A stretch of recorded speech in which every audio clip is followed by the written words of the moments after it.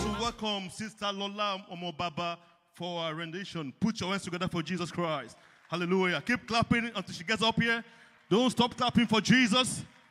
Keep clapping, keep clapping. Hallelujah.